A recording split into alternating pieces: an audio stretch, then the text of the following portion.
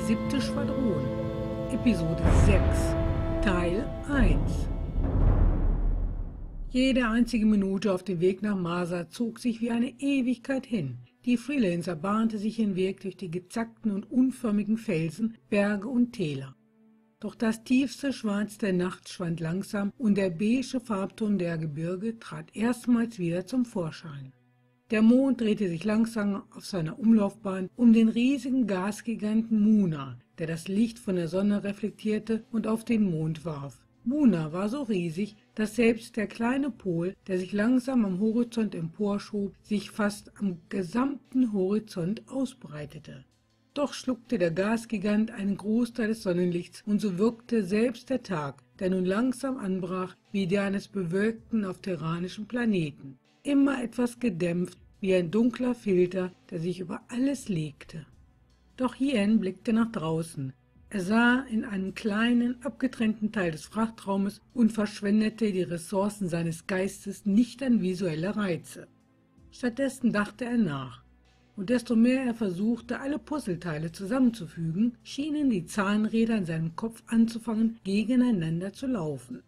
Bova und der Widerstand taten alles, damit die UE versagt. Aber mussten sie noch ein Ass im Ärmel haben, um mit den Wuls fertig zu werden. Oder waren es wirklich nur durchgeknallte Irre, die nicht wahrhaben wollten, dass die Kolonie in den Händen der Vanduls fallen würde? Doch das würde nicht zu Bova passen. Ian versuchte sich auszumalen, wie er in das Gebilde hineinpasste.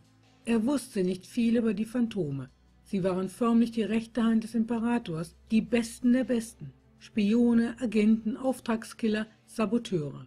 Alle ihre Aufträge liefen unter absoluter Geheimhaltung und kein gewöhnlicher Marine wusste, was sie überhaupt taten, wie sie ausgebildet wurden oder wo sie ihren Stützpunkt hatten. Diese vielen offenen Fragen schürten eine Menge obskurer Theorien in den Reihen der regulären Streitkräfte. Viele glaubten, sie seien Cyborgs, andere glaubten, sie seien eine geheime Alienrasse und trugen deshalb immer ihre Vollmasken. Einige behaupten sogar, sie seien Menschen, denen ein Bandul-Gehirn implantiert wurde. Doch eines wusste Yin ganz sicher. Ein Phantom wie Boa würde keine Fehler machen. Er hatte einen Plan und jetzt war es Hiens Aufgabe herauszufinden, wie dieser aussah und wie er die restliche vierte Army-Division sabotieren wollte. Doch was, wenn Alec recht hatte, wenn Bova nur Befehle ausführte aber welchen Sinn würde es ergeben, dass der Imperator seine eigenen Truppen aufeinander loslässt? Völlig in seine Gedanken vertieft, bemerkte er nicht, wie Wifi das kleine Abteil betrat und neben ihm Platz nahm. Als wenn sie seine Gedanken gelesen hätte, fragte sie mit gesenkter Stimme, Hey, wir halten ihn auf, Bova. Ian blickte zu ihr rüber, tief in ihre großen Augen. Nach einigen Sekunden des Schweigens fragte er, Wie kannst du dir da so sicher sein? Wir haben es nicht geschafft, die siebte zu retten. Wir haben Roh verloren. Wir haben keine Ahnung, was Bova vorhat. Es sieht übel aus. Wir brauchen keine falschen Hoffnungen. Vifi legte vorsichtig ihre Hand auf Hiens Arm, lächelte ihn an und ein seltsames Gefühl machte sich in ihm breit. Immer noch schaute er ihr tief in die Augen, als sie leise antwortete, wegen dir. Du tust alles, was du kannst und noch mehr. Und doch reicht es nicht aus. Das liegt nicht in deinem Ermessen. Du bist hier und tust alles, was du kannst. Auf alles andere hast du keinen Einfluss. Ian blickte sie an, doch traute er sich nicht, seine Hand auf ihre zu legen und flüsterte, ich wünschte, den hätte ich. Vivi fuhr an seinem Arm entlang, griff seine Hand und drückte sie sanft. Sie schenkte ihm einen aufbauenden Blick und fragte, was ist neuerdings los mit dir? Ian zog seinen Arm weg. Nichts, und sprang auf, um das Abteil zu verlassen. Doch rief Vivi hinterher. Richter, rede mit mir. Wir können keine Ablenkung gebrauchen. Geht es nur darum, ob das Frontschwein voll funktionstüchtig ist? Vivi warf ihm einen bösen Blick zu und erwiderte mit einer enttäuschten Stimme, Nein, wieso bist du nur immer so? Ihn drehte ihr den Rücken zu und wusste nicht, wie er diese Frage beantworten sollte. Nach einigen stillschweigenden Momenten erklärte Vivi weiter, wir kennen uns schon wie lange? Vier Jahre? Ich sehe so vieles in dir. den Marine, der immer alles für seine Kameraden gibt, einen Freund, auf den man sich verlassen kann, einen Menschen, der Himmel und Hölle in Bewegung setzt, wenn nahestehende Menschen Hilfe brauchen. Aber sobald dir jemand zu nahe kommt, Hien winkte ab, auch wenn ein Teil in ihm das sofort danach wieder bereute. Wir sind fast da, wir müssen uns bereithalten. Er verließ das Abteil, ohne sich umzudrehen und konnte gerade noch einen Seufzer von Wifi hören. Auch wenn ein Teil in ihm schrie, sich sofort wieder umzudrehen und zurück zu Wifi zu gehen, musste er keinerlei Mühen aufbringen, diesen Teil zu unterdrücken. Es war ihm schon immer leicht gefallen, mit sich selbst und seinen Emotionen allein zu sein, und die Jahre, die er sich selbst dieses Verhalten antrainiert hatte, überlagerten seine Emotionen.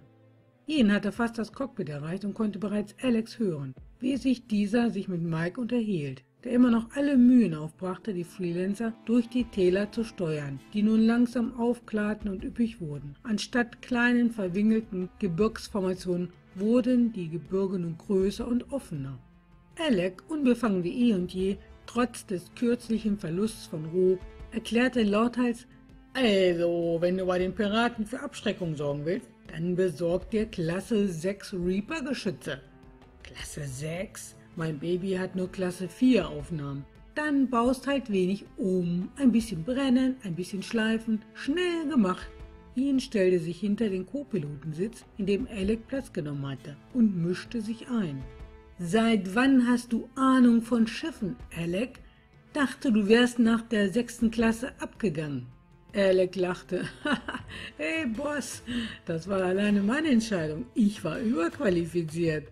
Ach ja, dann buchstabiere mal überqualifiziert. Erneut lachte er auf und erwiderte, haha, okay, pass auf. A-L-A-C. Jen klopfte ihm auf die Schulter und wandte sich Mike zu. Wie sieht's aus? Wir sind fast da. Nur noch wenige Klicks. Die Langstreckenkommunikation und Scanner werden blockiert, aber auf den Kurzstreckenscannern habe ich bereits kleinere und größere Signaturen. Da muss eine Menge los sein in Masa. Ian hatte die bedrückte Tonlage in seinem letzten Satz rausgehört und hakte nach. Und? Mike erläuterte, ich bin in Masa aufgewachsen, habe Familie und Freunde dort. Vivi betrat nun das Cockpit und versuchte Mike zu ermutigen. Ihnen geht's sicherlich gut. Sie sah Ian für einen Moment an und er erkannte ihre enttäuschten Augen. Er hatte sie abgewiesen, sitzen gelassen, obwohl er das eigentlich nicht gewollt hatte. Er wusste, dass sie sich nur um ihn gesorgt hatte ihm hatte helfen wollen und er hatte sie hängen gelassen. Sie blickte weg und Hien hasste sich dafür. Eine Stimme in ihm rief sie, hätte gern alles mit ihr geteilt, doch konnte diese nicht nach außen dringen. Mike antwortete mit einem dezenten Lächeln. Ich hoffe es. Bereit machen, wir erreichen das Plateau, auf dem Masa liegt. Die Freelancer schlug einige Haken zwischen einigen Steinsäulen hindurch und stieg steil nach oben, über einen Felsvorsprung und erreichte das Plateau. Masa City war einige Kilometer entfernt, doch stockte allen bei diesem Anblick der Atem. Die gesamte Stadt lag unter einer dicken Rauch- und Nebelschwadendecke, die von den schweren Kämpfen zeugte.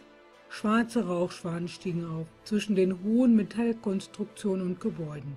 An anderen Tagen wäre die Stadt wie ein metallisch glänzendes Juwel aus dem beigen Ödland ringsherum herausgestochen. Doch heute Heute wusste Hien endlich, was der Nebel des Krieges bedeutete. Ach du Scheiße, entfuhr es Mike schockiert und Alec pflichtete dem bei. Das wird kein Spaziergang, verdammt sieh dir das an! Hien konnte Dutzende von Leutspurgeschossen ausmachen, die durch die Luft sausten, Explosionen, einige Brandherde. Es war klar, was los war. Die Wuls haben den Hauptangriff gestartet, mit fassungsloser Stimme erläuterte Mike. Wenn sie Masa City einnehmen, dann war's das. Hier steht der Atmosphärengenerator. Wenn sie den in die Finger bekommen, dann wird der ganze Mond zu ihrer Geisel. Alex spottete. Na klar, was sollen wir noch alles machen? Und jetzt? Ihn zögerte nicht lange. Rambock, wir gehen rein. Bist du irre? Wir haben keinen Kontakt zur vierten. Die werden uns vom Himmel holen, genau wie die Wools.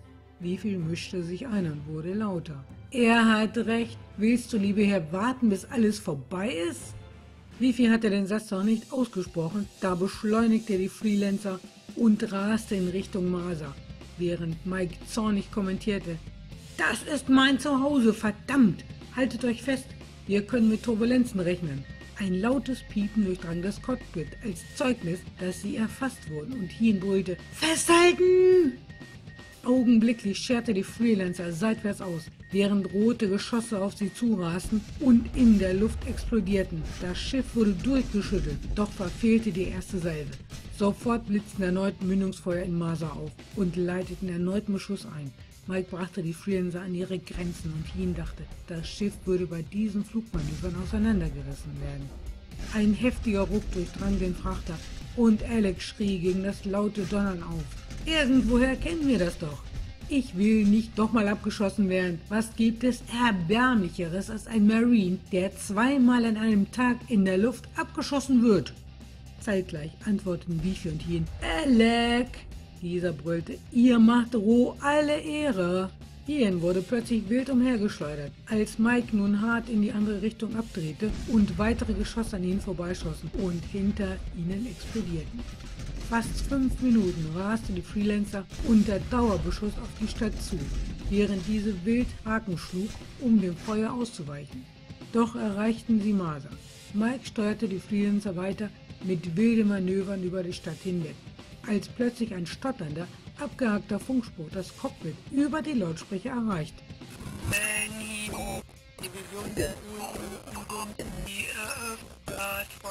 Bifi rief, das ist die vierte. Alec erwiderte, ja, und als Begrüßungsgeschenk jagen die uns das Schiff unterm Arsch weg. Mike zögerte nicht lange und betätigte das Komm, ehe er hineinbrüllte. Hier ein Frachter der Mugasa-Logistik haben Marines der siebten Schwadron an Bord. Nicht feuern, wiederhole, nicht feuern! Mike drehte sich zur Hirn und schüttelte mit dem Kopf. Keine Ahnung, ob die uns verstehen. Als eine der Konsolen unter einem lauten Piepen anfing zu leuchten, brüllte Alec, offensichtlich nicht. Hien betätigte das Komm in seinem Helm und brüllte hinein. Hier ist Corporal Richter der siebten Schwadron. Nicht feuern! Nicht feuern! Als ein hektischer Stimme aufgeregte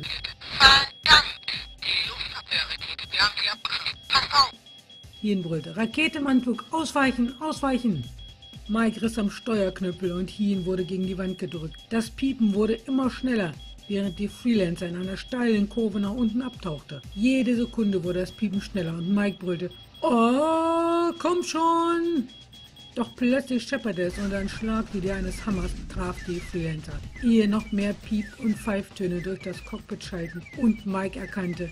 Sind getroffen, es hat den Hauptantrieb erwischt lauthals brüllte Alec. Nein, nicht schon wieder!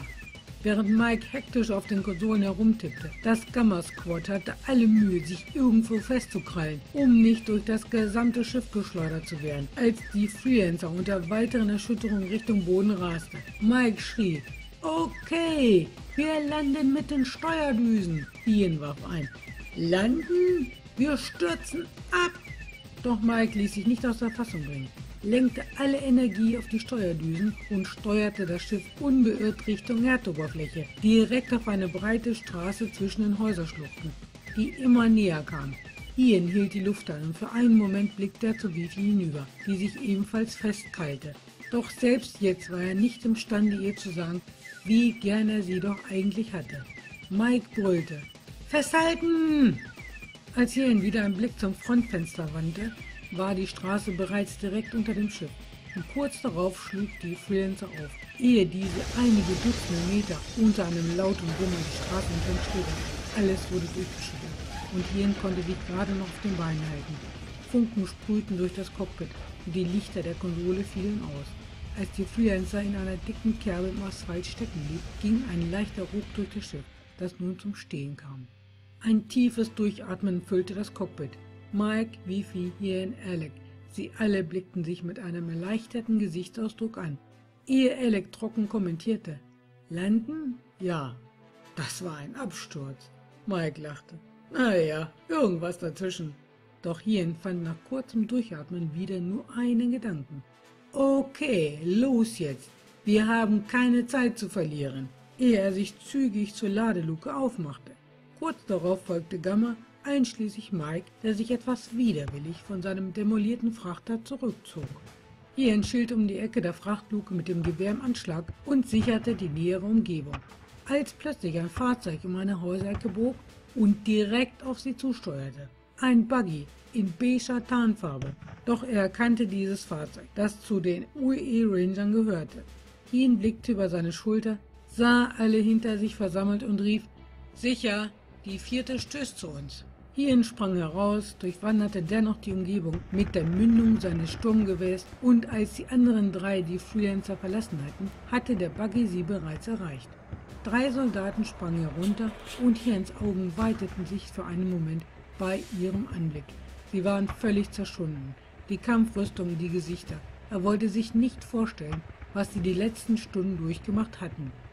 Einer von ihnen ging strammen Schrittes auf Hien zu und beklagte lauthals. Ihr gehört zur siebten? Ihr solltet die Operationszentrale des Gegners ausschalten. Was zum Teufel macht ihr hier?